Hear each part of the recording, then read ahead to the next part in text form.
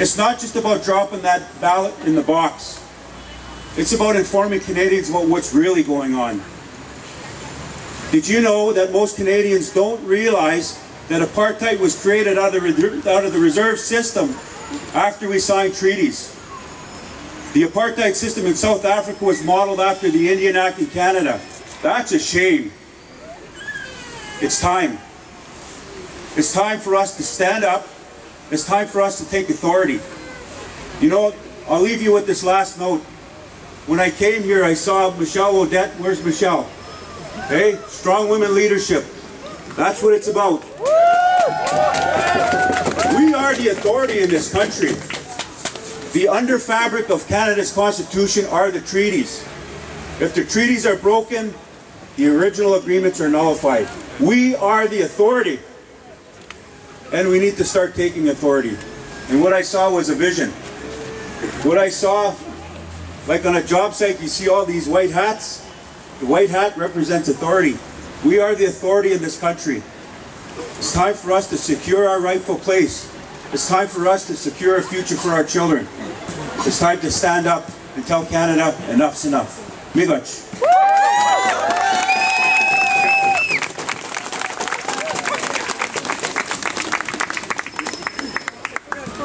Donc, je vais inviter Ghislain Picard, chef régional de l'Assemblée des Premières Nations du Québec et du Labrador.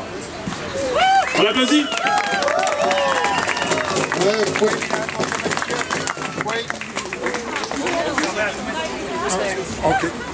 Oui, notre minat euh, ni John Drutt euh, ni Ganahdup. Je vous regarde maintenant, notre métier, Marc. Euh, je me snack maintenant, notre métier, un festival.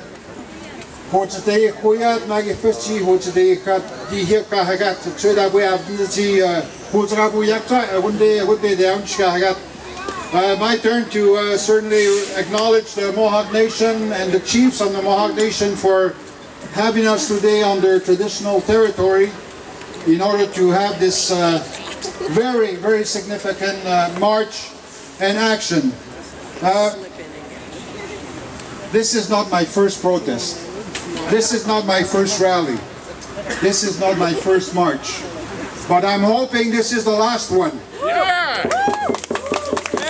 Écoutez, extrêmement important pour nous de se rassembler aujourd'hui et j'aimerais, euh, de toute évidence, comme plusieurs autres l'ont fait, reconnaître la nation Mohawk qui nous reçoit aujourd'hui et euh, qui pose avec nous un geste extrêmement euh, symbolique, non seulement symbolique, mais un geste qui est porteur d'espoir.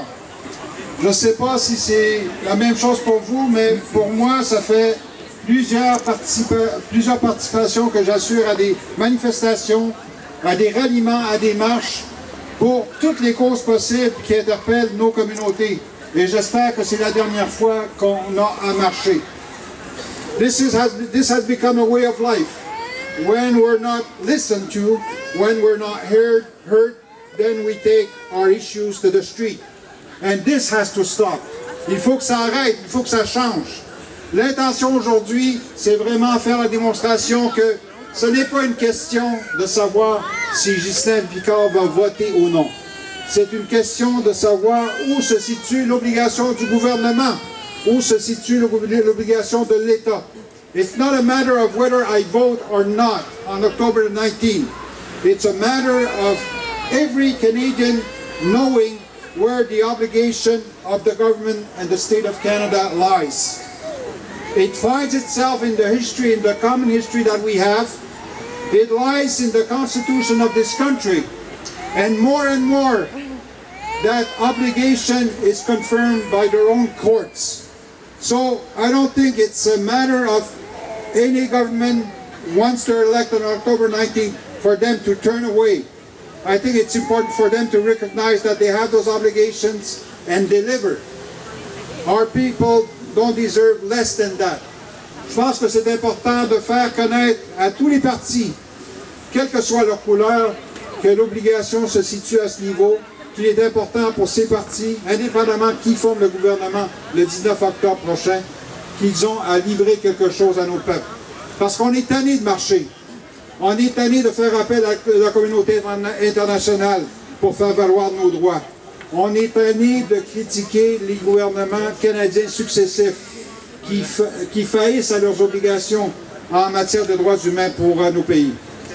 The Walk Today, la marche aujourd'hui, a été la plus courte à laquelle j'ai participé.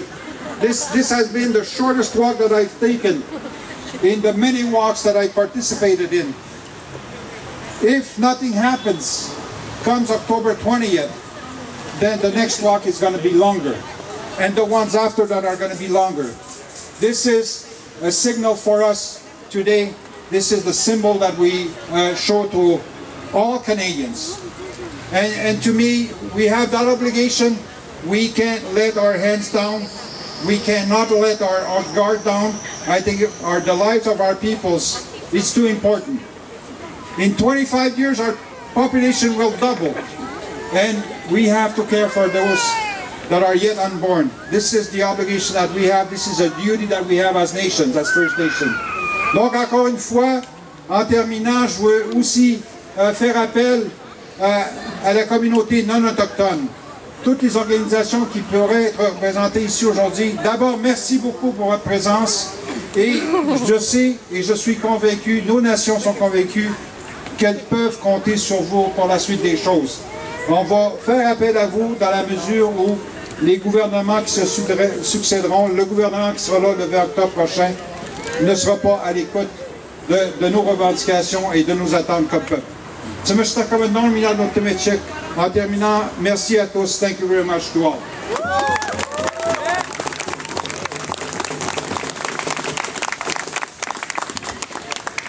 So as we are on Mohawk lands, I would like to invite Ganan Sohon Deer from Kahnawake, one of our faith keepers of the Longhouse, to speak a few words.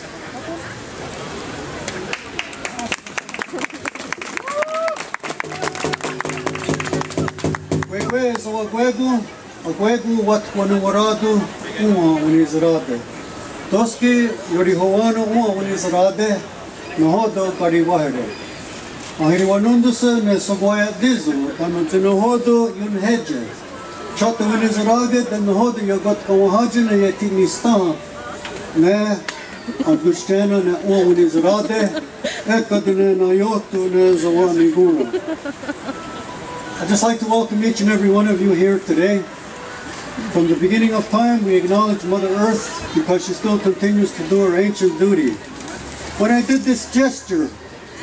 that was the way our people acknowledged each other historically in the Friendship Treaty Belt.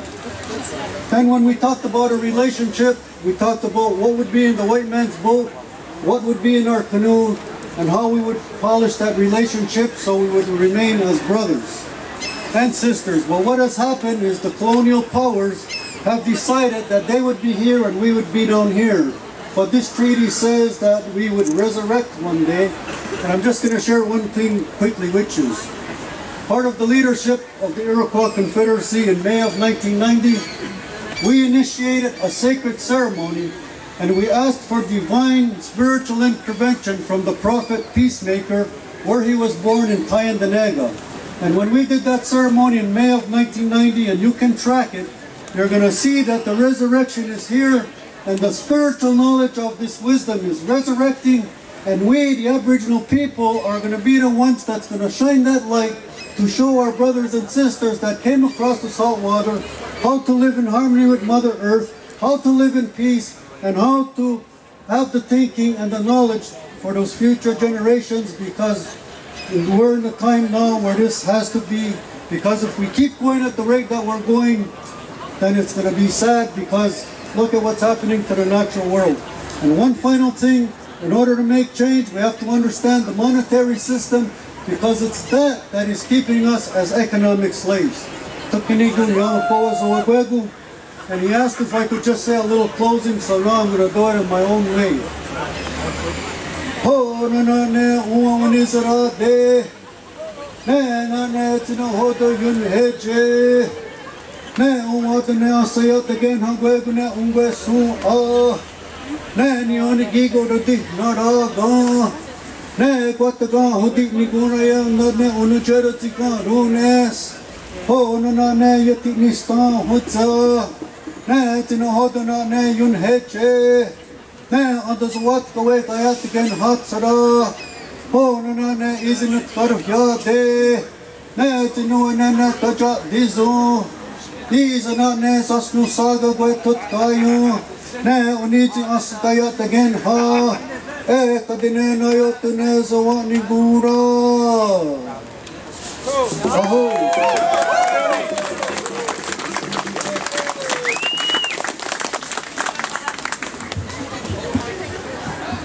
Uh, so just to mention for uh, media that would want to speak to any of the chiefs that spoke today, uh, you will be able to do so just behind the tent right here. Donc juste pour euh, faire une mention aux médias qui voudraient discuter avec euh, les brigades des chefs qui ont parlé aujourd'hui, vous allez pouvoir le faire derrière la tente ici. Uh, for everybody else, thanks for coming out. DON, merci à tous qui sont sortis. J'espère que tout ce qui a été dit par les chefs va rester dans vos cœurs pour les prochains temps. Et on peut s'attendre et on peut espérer que les électeurs québécois, canadiens vont entendre notre appel aussi.